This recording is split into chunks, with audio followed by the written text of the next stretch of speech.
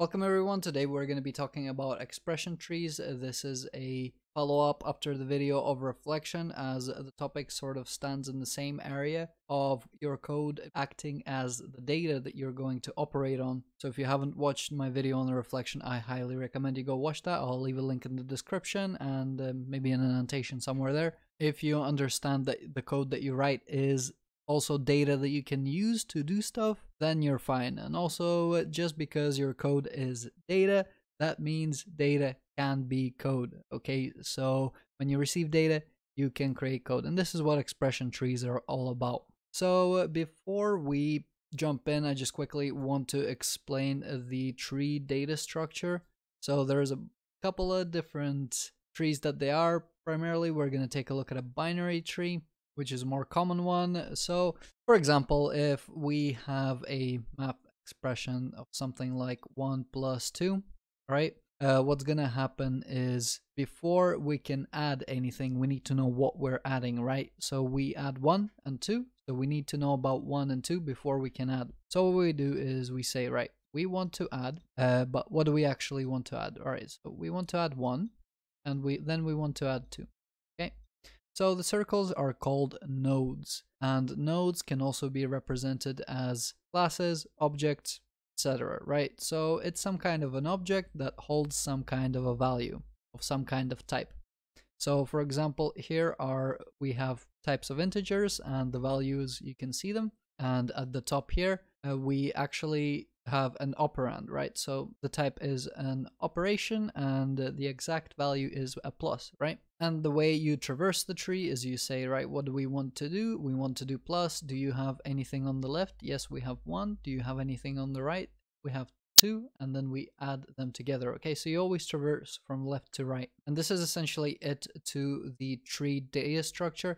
It can be, it, it basically, if it grows in size, so for example, if we multiply by 3, uh, 3, the multiplication is done first, so we kind of have to do it in reverse. So we still do the plus first, or rather we write it first because it has to come last or after the multiply.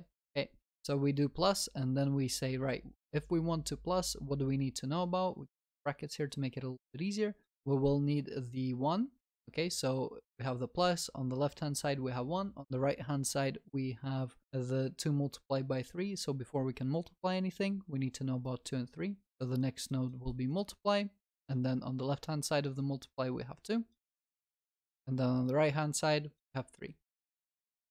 Okay, so this is pretty much it. The, this is what expressions are. We can also take a closer look at them in uh, the a LINQPad example. So for example, if I say var a equals 1 plus 2, so we're going to do exactly the same thing I've just did. So there's no output, but primarily I want to go to this tree window. And what I'm going to do is I'm going to highlight 1 plus 2. Okay. And here, if I zoom in real quick, so what you can see is we have the add expression as the top node. Going to your left, we have a numeric literal, literal expression. And then on the right, we have numeric literal expression again. And, and at the bottom green ones, you can see the value that the object holds. And if you can see a common pattern, it, what we have is a expression appended to the name of numeric literal or an add. So this is essentially the root type of the object. It's called expression. It's an abstract class from which all other classes inherit from. Okay.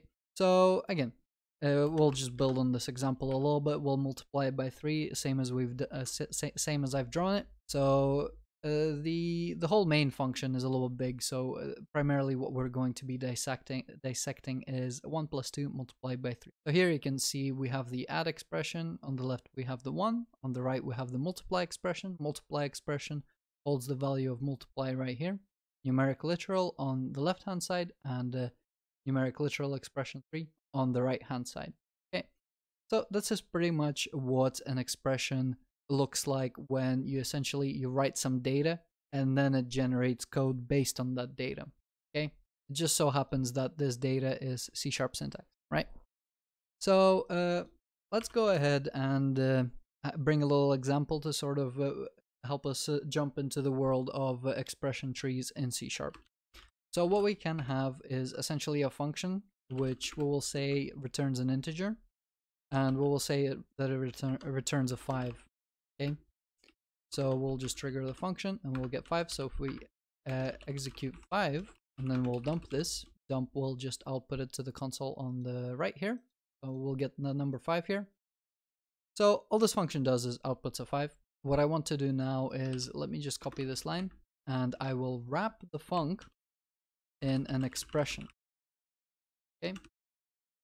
Oh, and I will append underscore expression on the end. Let me put some space here. So if you've ever seen this, you would have probably seen, the, seen this if you've used Entity Framework Core or Automapper. But essentially what this does is it basically says, well, we are expecting a function that returns an integer. Go ahead and store the information about it. Okay, so 5 expression is not a function, it is rather information about a function. Okay, and the primary difference between these two is that for 5 function, what we can have is we can have a method body inside of uh, the function. Okay, with the expression, we cannot actually have a method body in which we can return. Okay, so this will give you squiggly lines because the method body consists of statements which do not cannot exactly evaluate into expression trees reliably. So let's go back and le let's just output the five expression and let's see what we get right. So uh, just for sake of proof, we're gonna trigger the function and it's gonna give us squiggly lines. Cannot we cannot execute the method, right? Uh, so what we can do is let's just go ahead and dump the expression. And what we're going to get on the right hand side is essentially all the information about the expression. So here we can see the node type. Okay, so uh, as I was uh, drawing these out, the circles, or rather there are no arrows. So these circles, each circle is a node. So in our case, the node, the root node is lambda, since this is the first object and then the body is a node that is called constant, so node type constant. And uh, so this would be the constant, uh, this would be the lambda, and on the right hand side we would have parameters, okay? So these parameters, there are null current, uh, zero currently. So what we can have with parameters, we can have multiple parameters, and then with the body, so uh, this body right here, I kind of didn't write body here, but essentially this body contains this node, right? So it's just a singular expression. So uh, this should give you an idea that the, the function that you assign to an expression, what this really is, is just information about that function, or rather that expression or that expression tree. So you can traverse the, this expression tree and you can do stuff like derive from the information of the function that was written. So this is some data that you're passing into the expression which you can tra traverse that. So this is how Entity Framework will read the expressions that you write and then based it will check what you have written and based on that it will generate an SQL query. Okay, but then what you can also do is use the expression API to create functions. So once you have an expression and you actually want to call the function, what you can do is you can grab the expression because at the moment it's just data about a function. You can go ahead and compile it. Okay, and after we have compiled it compiled it we can run it we can see that it's in, indeed a function. So once we compile it again it's that function that we defined there.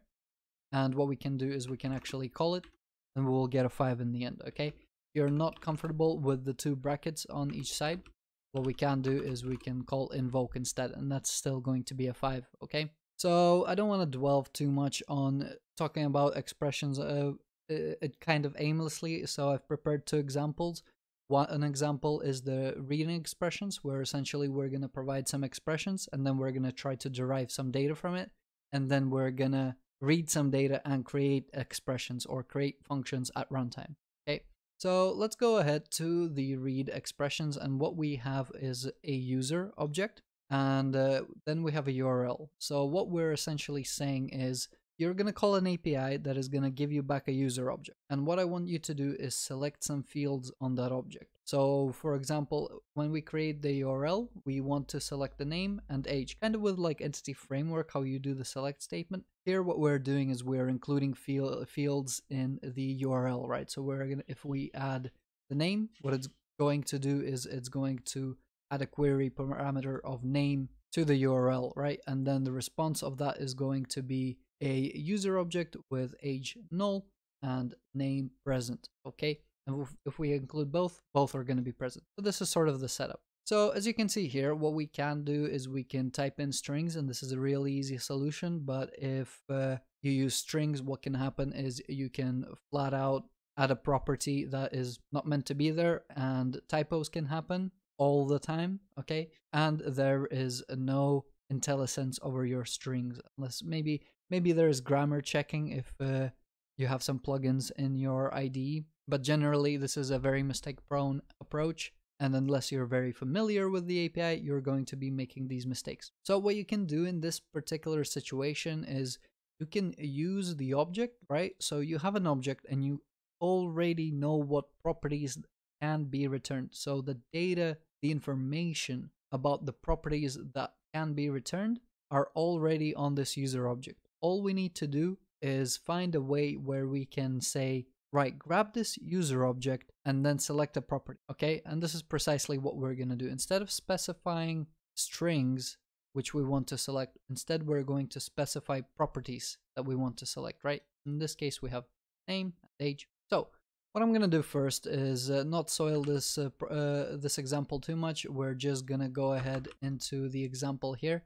I'm gonna copy the user object here, and what I will do is I'll just show you my approach how to essentially extract data because all, all, all we want to know is what property do we want to request? How do we select a property usually right? So usually what you would do is you would have a user so new user and uh, then you would say username right? So you, this is how you select the name you can then dump it and uh, if you've set the name to be something you're gonna get that output okay so the primary thing that we want to simulate is this. So grabbing a user object and selecting a name. And we can and how do how do we put this behavior into an expression? So this is what you need to think about. You need to put this behavior into this expression. Okay, so you don't don't think of this as the function you're going to be executing. Think of this as C sharp syntax that you're going to read as data. So instead of writing this string, you're going to write C sharp syntax, which is going to get checked at compile time. Okay. And it's not actually going to run that code, just using that as data. So what we can do is we can create an expression. And uh, for this expression, what we'll need is we will need a user and we'll need a name. Again, I'm going to repeat this. We will not actually need a value of the user to pass into this function. We're not writing a function we're writing some C sharp code that is purely there to be read. So we're going to create a function which is going to accept a parameter of user object and it's going to return an object, right? So because this is going to be some return type, we don't care if it's a string or an integer, we just want to return something. So once we have this expression, well, let's call it expression, and I will say that we will grab a user and then we will select username. Okay, so this compiles uh, if we want to select age, we can. Uh, if we make a typo, we get compile time checking. We cannot select properties that we haven't haven't registered on our user object, right? So we can't make a mistake besides making a typo on the user object itself, okay? So uh, let's go ahead and dump the expression and let's go ahead and take a look at what we can find here. I'll make this a little bit smaller. So node type lambda, uh, primarily I'm looking for the name or the age and all I want to do is end up outputting uh, the age and name string okay? So once we what are we selecting? We're selecting age. So the age will have an unary expression node type convert. So uh, expression is the base type and then there's a bunch of classes like unary expression or property expression which is really a member expression is a little bit confusing of what what what actual types you can get. Sometimes you can get the name from the node type. Sometimes you can get the name from an array, an expression. And uh, this is just a trial and error process at this point. So yeah, so what we're really after is the name of the parameter, right? So we want to get this member and we want to get its name because this is how we're going to derive what string we're going to append to the URL. Okay, so let's go ahead and zoom in on the body And what I want to show you is that at this point, the node type is convert. So it's an unary expression. And if we select the name, it's going to be a different node type. So node type is member access. Okay. The, the reason why it's doing is because it needs a, a conversion from integer to object. Okay. But for a string, it's a little bit easier. String is kind of an object. But yeah, essentially you can see the difference that the body can be any expression. So what will happen is this body is actually an expression, right? Which is returned from the lambda expression. So lambda expression is a concrete class and expression is an abstract class from which the lambda expression derives. And we will get to using the actual classes and creating them in the creation example. But yeah, so uh, all I'm alluding to is that if we go to the body and then we try to grab the member, we won't be able to because it's not there, right? Member exists on the property expression or member uh, access uh, expression. And if we try to do the same with age, so for example, now we have the node type convert or an unary expression. Uh, if we try to select the, the operand where our, uh, what's it called, uh, our um, member lives. Oh, if we try to go to operand, right, we can't because body is an expression, we need to do a type conversion. So because this example is a little bit harder, let's go ahead and run through this first, or actually let's let's do it for the previous one. So let's go ahead and grab the body, put it in a parameter, just like that. And uh, what we will do is we will say, uh, let's start with the name first. Uh, run this and let me just dump the body again so we can take a look at it while we're working. Uh, so you can see no type member access. So what we can do is do an if and generally how I sort of get a feel for what class to convert the body to if body is property expression. This may not work so I don't get anything. What I will then uh, try to change this to is something like member expression okay or member access expression. So then I can use this and basically then on the member expression I can zoom in on the member and grab its name and then dump it and maybe even to lower it to what's it called? To fit it with the URL put a semicolon on the end and at the end I get a name okay? Uh, otherwise uh, if I select the age uh, I'm not gonna end up with an age at the bottom here because the body is a rather an unary expression so this is again if you try to then orientate ba based on the node type so if you say body is convert expression, I'm like, I don't know what convert expression is. So it's like, I, I, am not sure why this API is so confusing, but um, this this doesn't help. But the things that you can do with this end up being quite uh, impressive. Uh, so unary expression, uh, UE, uh, unary expression, and then we can go ahead and zoom in on the operand. And uh, again, operand uh, if we hover over it, it's going to be an expression. So again, at this point, we will need to do another conversion where uh, if I, am not going to do too many examples, but essentially here I'm just going to convert it here because I know what it's going to be. And it's going to be member access, which is what was here. So we're going to cast it to member access and then be able to grab the member and then the name and then to lower. So we're going to do the same thing that we did above there and we're going to dump it. Uh, okay, and by the time we run this, at the bottom, we're going to have age, right? So the point here, again, I'm going to re reiterate this, is that we are not executing the function that we write here. This is code as data. So we have written code just to use it as a data structure, okay? And it comes in the form of expression trees, which then we can use something like this to check it, okay? So let's go ahead and hook it, hook this up because on here we can uh, sort of do a, string, a param string array to select the fields. Uh, let's go ahead and replace all of these question marks with field selectors. And what we're going to supply is an array of expressions func users to objects. Just like that. Okay. So now all we have to do is grab the rest of this function uh, let's say put it here. Uh, the expression, we will have to put this uh, in a loop, so we will have to loop through all of these and uh, grab each individual one. So var uh, list string results. So I'm going to accumulate all the results here. Uh, so this didn't need to be there. So fields equals new list string result. Okay. Semicolon there. So this is where I'm going to aggregate my results. Then I'm going to put a for each loop where I'm going to iterate every single selector. So selector uh, in field. Uh,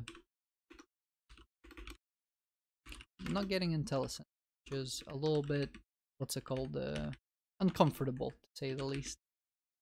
Usually I like I like getting my hand hold, but you know, at least I get the red uh, height. So at this point, we can grab the selector, we grab the body. Instead of dumping anything, what we're going to do is, for the spaces a little bit. Yeah, instead of dumping, uh, we are just going to add them to fields.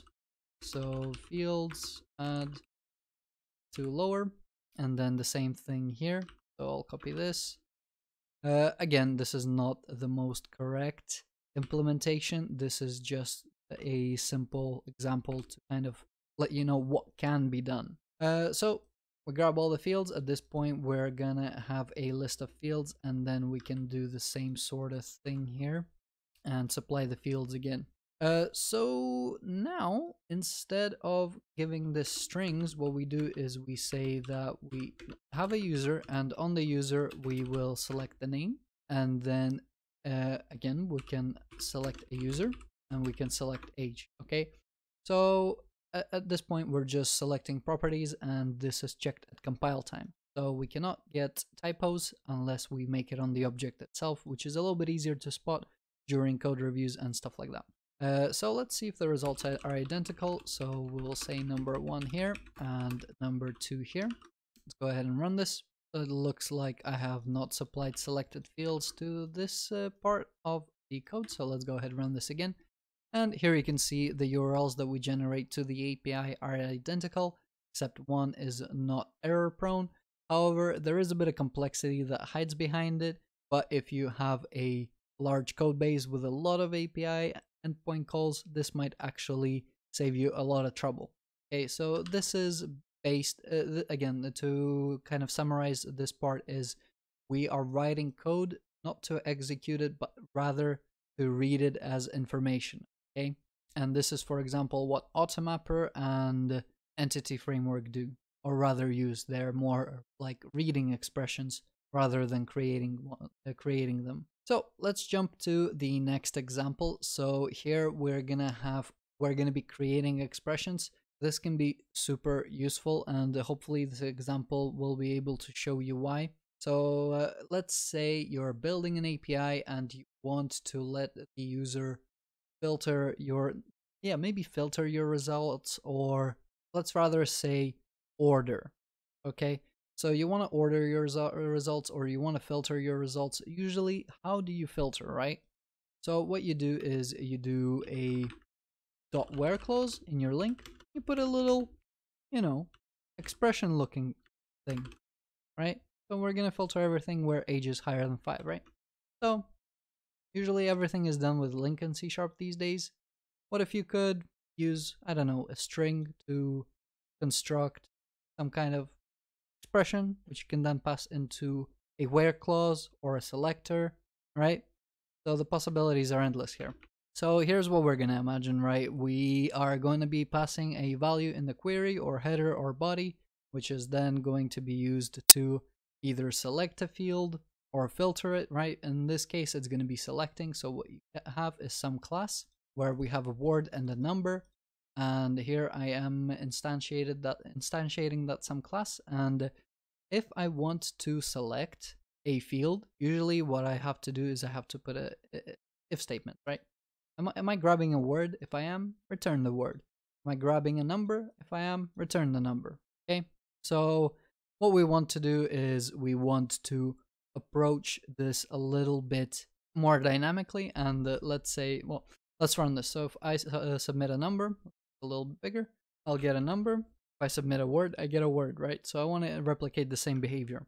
So we'll stay with the word here and uh, let's talk about how do you actually create lambda expressions, right? Or expressions themselves. So lambda is one type of expressions and then there are multitude of other expressions, right? So kind of how you have uh, the type class in reflection to go into the reflection world and start reading information about a specific type. In expression, what uh, in, in in the expression world, what you have is the expression class. Okay, so with the expression class, you can it's a static class where which has static functions, which most of these functions what they will do is they will return some kind of expression. Go to expression if you want one, uh, a convert expression, convert checked expression, continue, and uh, add expression. So if you want to perform an add operation and add an assign, uh, these are your expressions, which and this is how you create them. Okay, so uh, going back to the simple overview, what I want to do is I kind of want to go over this expression and uh, redraw it in the node notation so we know what we're creating and that will really help you create the expression if you understand how to form the tree structure okay?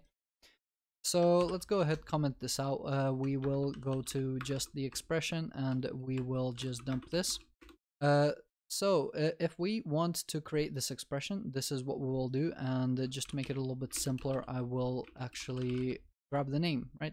To shorten it a little bit. So at the root, and usually the, the root is the last thing that needs to be invoked, right? The last thing that needs to be actioned on. So it's at the top. Okay, it's the root. Uh, so going back to the paint, uh, at the root we have the lambda. Okay, so this is my L. Uh, so we have the lambda expression. Uh, we have parameters, right? So parameters, uh, this is not a binary tree. These are just some nodes on the Lambda object, uh, on, on the Lambda node. So here we have parameters, and parameters can have a bunch of uh, a bunch of things. So uh, parameters themselves, they have a list of uh, types. So if we, let's say, if we add an integer here, and we add another parameter to the function here, uh, this list is going to increment with every parameter. So in here, what we have is the user. So we'll say user. Didn't really need to type it out, but yeah, and uh, any other parameter uh, adds a branch to this node. Uh, the next thing is the body. So we have the body, and again, there's not too much to concern yourself here. The body is just another expression, and the primary expression that is going to be holding is the property expression. And the property expression is a node type of member access. So the operation that it performs kind of like when we have the add operation, right? So when we had a node where we preferred performed an add or a multiply, these this operation I'll just say that it's a dot because that's kind of how we uh, uh, denote it here in the syntax. We put a dot access something, so this that's what I'm saying. I'm gonna say it's a dot, right? Uh, what what's on the left hand side, right? Or what's what's on the right hand side, or rather, what what are we selecting? So uh, we are selecting a name. So this will be on your right hand side. Not sure if it's right hand side exactly. This doesn't look like a binary uh, tree. So uh, anyway, I'll just put the name here and the user. You you understand that this is the user. Okay, so, and then, yeah, as the tree gets traversed, it's something along the lines of this, always left to right. Uh, so yeah, so now you can uh, see that essentially before, it's kind of like dependency injection where you need to know about all of your dependencies before you can bunch them up or before you can fill the container. So before we can construct the lambda, we need to know about our parameters. Uh, before we can construct the lambda body, we need to know what the body consists of, right? So what we will do is uh, we start with the bottom nodes and we put it on the higher node and then on the higher node until we end up with a lambda, okay? So uh, let's uh, go back to the cre uh, creating expression. And what we're after here is this selector, right? So what we're what we want to do is we want to produce a lambda that will perform the selection operation of a specific field or property and let us basically grab that value, right? Uh, because that's what the selector is going to do, right? If we put a value in it, it's going to run the selector and it's going to give us back a value. It's kind of like just having a function that will that, has a dynamic selector based on another parameter. nevertheless, how, how do we do this? So before we can um, basically access the name on the user, we need to know about the user. So we need a parameter, right? So we need the left hand side first before we do the right hand side. So uh, parameter first. Let's go ahead and uh, create a parameter, right? Uh, we're gonna create a parameter. It needs a type. What type do we deal with? Some class, right? So type of some class, uh, some class parameter. Let's just call it parameter. I feel like that is just gonna be simpler. So yeah, it's a hole if you again if you imagine like i'm not sure why i'm saying again but if you imagine this box where you can put the circle bits the square bits where we have a, a function is like a thing with no holes and then as soon as we create a parameter we're opening up a hole that is like has some class size so you can only put some class sizes in there right so what we essentially here uh, what we've done here is we've uh, created this bit here so uh, not not specifically the parameter types, but the user type. We will you will see how we are to be put when we're creating the lambda. You will see how we're going to be essentially populating the lambda's parameters. Okay. So once we have the user, we can then go ahead and access the user's name, right? So we want the accessor, and if we remember correctly, it's called the member access. So let's go ahead and try to find some kind of member accessibility expression member access make member access and uh, not quite that and uh, rather what we want is property or field okay so uh, creates a member expression that represents accessing a property or field right so uh, you can see how the names don't match up here. This is why under it's important to understand what you're doing, being able to uh, speak it, because if you can uh, say what you want to do and you don't know how to express it in C Sharp, it becomes very easy to sort search for this problem in Google, right? So you can then express your question in the search bar and you get a response from a Stack Overflow or whatever. So naming is hard. Uh, it's a pardonable uh, mistake for creators of C Sharp, right? So that's okay. Property or field still pretty explainable. If you use it a lot, you're gonna remember it. So property or field, uh, what do we have here? Let's go ahead and F12 on this, if it's gonna let me.